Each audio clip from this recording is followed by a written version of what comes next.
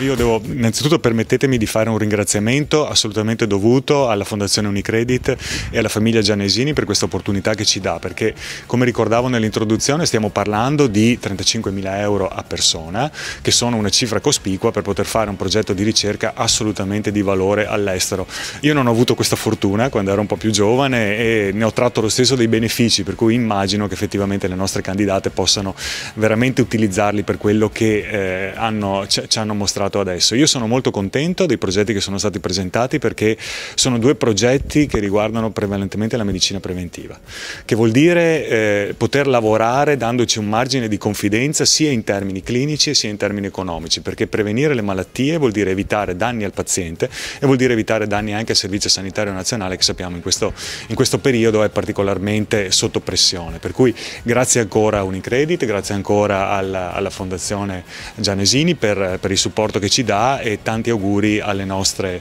alle nostre candidate sperando che ci portino a casa qualche buon risultato. Andrò a Liverpool, all'Università di Liverpool, a collaborare insieme al professor Malcolm Jackson che ha una grandissima esperienza nelle problematiche neuromuscolari, ha tantissimi strumenti per studiare, in questo caso le fibre muscolari. Il mio progetto è sulla fragilità fisica e soprattutto quindi negli anziani. E andremo a vedere come l'allenamento di forza massima può andare a migliorare le, tutte le qualità del muscolo e anche le qualità mh, proprio generali con l'allenamento, in questo caso di forza massima. Per lo studio andremo a vedere i pazienti fragili, che possono essere fragili fisici o fragili cognitivi, e andremo a confrontarli con pazienti anziani, quindi vedremo di matchare per l'età, però appunto sani, senza problematiche. L'allenamento di forza massima piano piano sta incominciando a avere sempre più studi, però non è mai stato fatto su persone fragili, con fragilità cognitiva soprattutto. Attualmente il gruppo di ricerca eh, nostro di Verona sta facendo uno studio sui malati di Alzheimer, però appunto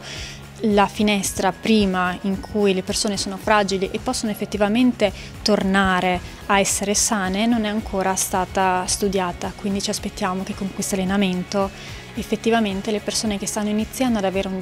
decadimento possano ritornare a avere un fenotipo più sano. Stiamo cercando di investigare le basi mm, patogenetiche dell'insulinoresistenza nei soggetti in età pediatrica affetti da obesità e abbiamo già ottenuto dei risultati preliminari importanti eh, analizzando dei dati epigenomici e genomici sui nostri pazienti. Le fasi diciamo, successive del progetto verranno in collaborazione con il laboratorio della professoressa Ling dell'Università dell'Università di Lund, eh, che è proprio un laboratorio che si occupa di epigenetica del diabete e grazie a, a questa collaborazione potremo a, proseguire il progetto ampliando le analisi e confermandole anche non solo sul sangue di soggetti ma anche in alcuni tessuti che sono particolarmente importanti per il metabolismo dell'insulina eh, nei pazienti pediatrici affetti da obesità.